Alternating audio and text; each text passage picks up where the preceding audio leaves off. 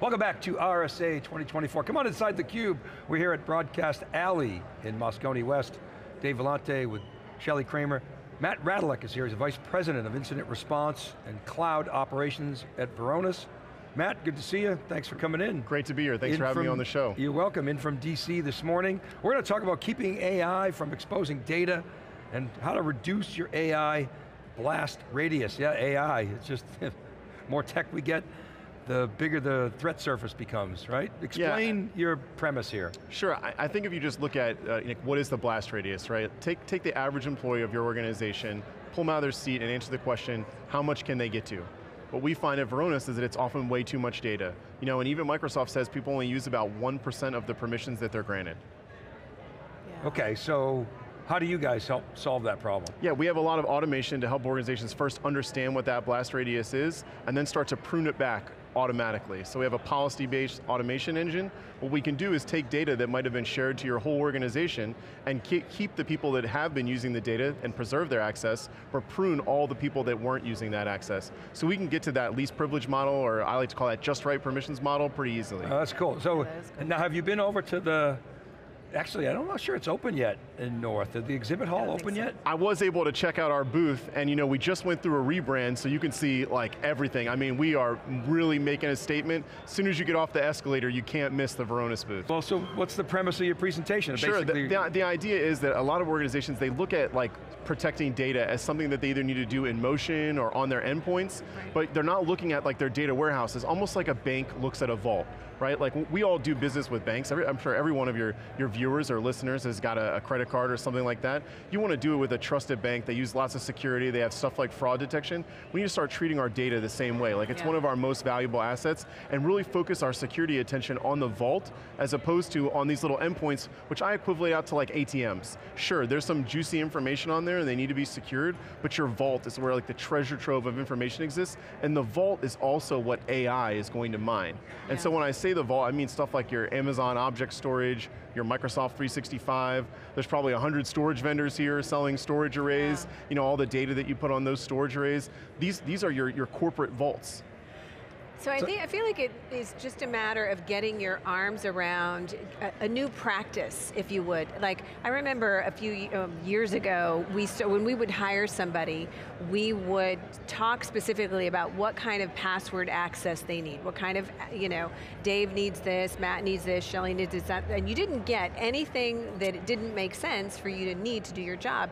But I feel like maybe that hasn't been our approach in cybersecurity up until now. Yeah, and, and, and definitely not not for data, right? No, I mean, absolutely not. People have thought like, okay, we're not going to give admin credentials to everyone. Right. But they're not thinking about that same like, well, should we give everyone access to all of our data? Yeah. And what, what that does is that makes a ransomware actor or a cyber criminal able to just not have to do anything sophisticated, right? right? They don't need to drop malware to get privileges. The door's if they open. can get to 99% of the data with a regular user account, yeah. they don't need sophisticated tools to access and exfiltrate information. Now take that same problem and that's magnified by AI because of these co-pilots. You know, we, we, hopefully you guys have tried out one yeah. of these co-pilots. Of course. Ask it to go to a meeting for you or summarize things. Yeah. Well, you can also say, show me some interesting information or tell me about the upcoming mergers and acquisitions, and if that data is open, like I talked about before, it often is, yeah. the co-pilot has access to it as well. So it really removes that layer of obscurity that's there for regular users and regular right. employees. Yeah, makes perfect sense. So speaking of co-pilots, you have a Microsoft partnership. It's interesting. I, I want to know how you feel about this, Matt, because I, I feel like if, if consumers get value out of something, that value will trump any concerns they have over cyber. So the example I was used, so when the whole OpenAI kerfuffle came out, I was like, wow, I wonder if this is going to slow down the adoption of, of co-pilots because it's so, you know, OpenAI and, and, and they fired the CEO, he came back, blah, blah, blah, all that sort of drama. None of it mattered. Yeah. Co-pilot adoption is going through the roof. You talk to people, they're like, oh, this is awesome. I use it for, for coding assistance, I use it for summarizing documents, it's, it's helping me with my, my workflow. So that's amazing to me, that, and, and it's always sort of been the pattern. But what's the relationship with Microsoft? How are you guys sort of yeah. going to market together? there are a lot of organizations that do that initial pilot with Copilot, and Microsoft's pushing that really heavy right Yeah, now, right. and they should. I mean, it's a really awesome productivity tool that everyone should use. It's just that there's this balance that people strike. As soon as they start to test it, they realize if they didn't get their data security right before, it's now a problem. It's a problem that is like front and center, stopping their business from moving forward with this Copilot until they can secure it. And that's really the foundation of the partnership with Microsoft. Microsoft's going to turn those clients to us and say, look, this customer, they really want to move forward with Copilot, that's a huge opportunity for us, but we need you to help them you know, get their data in line or, or you know, get their data in check, get that blast radius really limited, and also police the prompts. So I think the other side of the equation is whether you have open data or locked down data, you do need to monitor how your users are using these Copilots and not just let them run rampant. Right, right. Well, and that's a nice sales motion. I mean, for you, if what Microsoft does is say, here we Yeah, have hey, you, customer you definitely need to solve this security problem before you move Okay. forward. And I mean, that's a huge problem for Microsoft, right? That's a business problem for Microsoft, which I think makes the partnership make Yeah. a lot of sense. One of the biggest names, if not the biggest name in data security, and the automation that we bring to the table can just help Microsoft customers get there faster and get there with more automation. What's on the uh, CISO's checklist? Top priorities, I mean, they've got like 20 of them, but what are the top two or three? I think right now the number one is enabling AI. It isn't stopping it, it's how do I get my business to benefit from it by providing that like just right balance of security and productivity.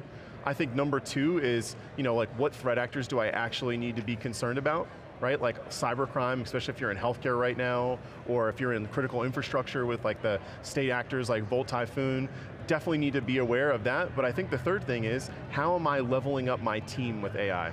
Because if you're sitting and focusing only on the business benefits and not on the security benefits, you're missing an, an opportunity for your own security uh, personnel. Like whether that's automated investigations or AI-powered or AI-enabled SOC or AI-enabled search. There are so many things that can get our security analysts and our incident responders the benefits of AI alongside of our business, like our productivity users, our sales employees, our coders, as you so eloquently stated. You mean, when you say automated investigations, you mean like pen testing, or? Uh, the, the sky's the limit. I'm sure if you spend enough time on the floor, you'll see someone that's got an AI for everything, but how Varonis is using AI is really in two ways.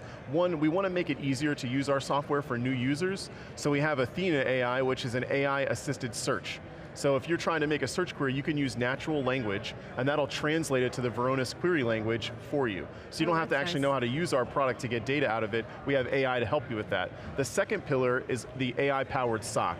So we're providing automated playbooks, so if a SOC analyst doesn't know how to deal with a particular threat, they can engage with our AI-powered SOC, and they can figure out how to thwart a particular threat. Now many of our clients are turning to us for that, and letting Varonis' managed data detection and response watch after their data for them, but for the clients that elect to do it themselves, they're getting a lot of value from that AI-assisted SOC. And part of this is also then that you can put somebody that is not as senior from a security standpoint, give them these Yeah, tasks give them because they're, they're, Right. working alongside the technology that's, lo- well that's really cool. That's right, and, and it also helps like, you know, lower that barrier to entry to cybersecurity. We can pull more people over from more business analyst roles Yeah. or technology roles and make them analysts by giving them these AI assistive tools. Yeah. I was joking with one of your changing. colleagues um, that you guys, actually before I go there, Hmm. how will the SOC analyst experience change as a result of AI? Yeah, that's a great question. I, I have two major predictions here. One is that we're actually going to level up the SOC so much that what we call L1 SOC today, which are by and large people that only operate by playbooks, right? They just follow you know, standard operating procedures. I think they're going to go away. Because the AI, especially at Varonis, is our AI is, is that person now, Yeah. right? Like that level one SOC that only follows a script is all done by the robots now. It's not done by humans. So our analysts have to be even more of experts to be able to process the things that the robots couldn't. And I think we're going to see more and more of that, while at the same time, exactly what we were just talking about, we're going to lower the entry point for people into the industry. Yeah. And so that skills gap is only going to get bigger as a result. Because you're going to need analysts that can work with AI and have already been leveled up by AI, and they're going to be trying to bring people in using all these AI powered tools. So AI is going to increase the skills gap? Wow, that's, Yeah. that's a non-intuitive prediction, but it actually makes some sense, what you're basically I saying. mean, in the beginning, it lowers it because you're bringing people Yeah. to a new technology, but in the end, like that layer one role, it's kind of, it's kind of been eliminated. Right, right, so the, now you're attacking some of the really hard to attack problems, Um, wow. And I think you'll see other cybersecurity companies like a, like a Varonis tackle that, have to tackle that problem first, as you know, we're often the ones providing our, you know, the usage of our software on behalf of our customers. So, I, you know, I was joking with some of your colleagues, this is like, RSA especially is like acronym soup. No, there's no industry that's worse than security on, a, on acronyms, but, so you guys are data, you can just insert da another D for data into any acronym, so MDR. That's right. Make, just call it MDDR, so explain your angle on that. Yeah, no, that's great. Um, why do we call it managed data detection and response? First and foremost, companies have a hard time answering the question, is my data safe? Was it accessed or exfiltrated during this event that transpired? And do we have a duty to report or is it material, which for any publicly traded company is top of mind for like every CFO right now. And so this service aims to help you answer those questions first and then layer on the other parts of the ecosystem. So someone that has an MDR from another provider would still tremendously benefit from an MDDR that's focused just on their data. What are we going to learn from your little breakout session and the talk that you're going to, 20 minutes, that's 20 minutes, you can get some Yeah. detail there. What, what, what are folks going to learn and why should they attend? I think they're going to learn a few things about how to catch today's cyber criminals and how stopping cybercrime is also going to help you prevent an AI data breach. Two, they're going to get a very practical approach in order to deal with AI. And it really is what I said earlier, I'll, I'll, I'll spill away some of the secrets now, which is you, you need to treat your data in these vaults just like you would the crown jewels. And you need to think about monitoring it and locking it down there, because the further that you get from these vaults, the harder it becomes to control this information. And so I'll, I'll make a lot of, I'll make a very strong point about if you do that and you police the prompts, obviously in a much more eloquent way, with a few stories and jokes along the way, that you'll be able to successfully avoid a data breach caused by AI. It's funny what you're saying about the vaults and the ATMs. You know, why do we, why do you rob a bank? Well, because that's where the money is. Yeah, that's where the money and so is. the money in ATMs, but a lot more money in the vaults. And the vault today is data. That's People right. are grabbing your data. We've, we've talked a lot. We've seen how it's not only encrypting the data in, in ransomware, it's exfiltrating it so that if you can you know, use some kind of air gap and get your data back, well, I still have your data, I'm going to release it, so you better pay me, or you're really going to be embarrassed, your stock price is going to get hit, you know, your employees are going to be embarrassed, your, your customers are going to freak out, you're going to get sued. Okay, and now you've got the infighting between the different providers. We, we look at Change Healthcare and Optum where they paid the ransom to provider number one, but then they didn't pay the cut of the ransom to provider number two, so provider number two's got their hand out, and they're asking for, for part of their ransom before they post some of the data online. It's like a never ending cycle. But just think about it, the same problem that causes a breach like that, your AI now has the same level of access as that attacker. So now you you took the need to be sophisticated away from the attacker. They can just use the co-pilot to make prompts and retrieve back information from all of your connected applications. So it's really going to become like a, the, the data exfiltration on steroids. Yeah. So the consensus last year at RSA 23 was that initially the, the, the attackers are going to have the advantage with AI, and then I, I, there was mixed as to whether or not the defenders would ever get an advantage, but for those who felt like the defenders would get an advantage, it was also mixed. Some felt that the gap would be compressed within a year to 18 months, others felt like it might take you know, three or four years, nobody really knows.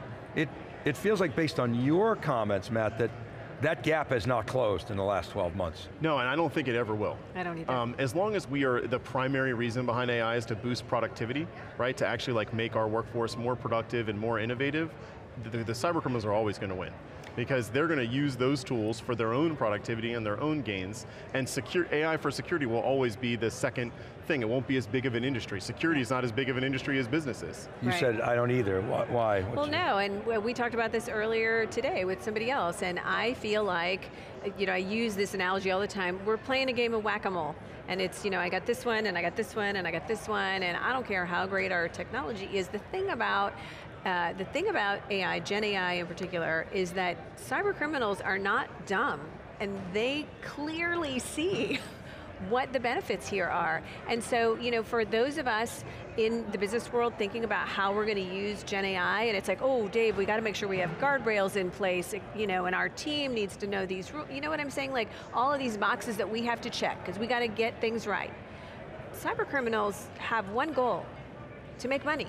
Yeah. And the quicker they can get their arms around this, the quicker they can get things launched and everything else, the more money they stand to make. So, you know what I'm saying? It's like, we're operating at one speed and they're operating at another speed and their, their benefit, their upside is so high. Yeah, and cybercrime has become a huge business, right? Like, you have these initial access brokers that, you know, farm the phishing emails and get the footholds, Yeah. then they turn it over to the ransomware actors. A lot of these ransomware actors are state-backed, Uh. you know, by like, you know, sophisticated Yeah. people writing the code for them. Yeah. And so, it, can, can we really keep up, right? I'll tell you this though, I don't envy the job of the CISO right now. Oh, gosh, right? no. They have to get everything right, and the attackers only have to find the one thing that you got wrong. one thing you And that makes it really, really hard to be a CISO right now. Well, and I think I've read somewhere that like the term, the job, the job term that you know people spend in a job is like a year and a half, two Yeah, years, months. something like that. I mean, it's, I- don't know how most of them sleep. I mean, there's so much responsibility, and then when you see things like you know CISOs getting charged as a result of a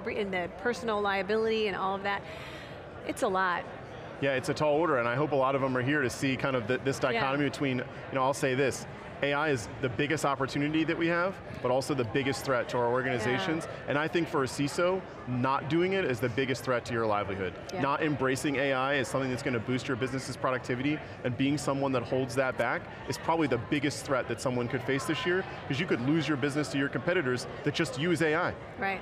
Well, and to your point, Shelly, the, the attackers, they're, they're trying to make money. That's why they do it. You know, there are, I know there are other reasons, like nation But- state stuff, but to make money. So to the extent, you know, ROI, it's benefit over cost. If you can reduce their benefit and increase their cost, they're going to go to another bank. Right. They're going to go to another vault. Yeah. So, Matt, good luck with your Yeah, presentation. thanks so much, When is guys. it, tomorrow? It's on Wednesday. Wednesday? And I want to say at 3.30, uh, Yeah. and how to prevent your first AI data breach. Awesome, well, good luck with that. Love to have you back at some point. And uh, thanks for coming to theCUBE. Yeah, thanks guys, thanks for having me on the show. Yeah, you bet. All right, keep it right there. We're back with our next guest right after this short break. You're watching theCUBE live from RSA 2024. We're at Moscone West, and we'll be right back.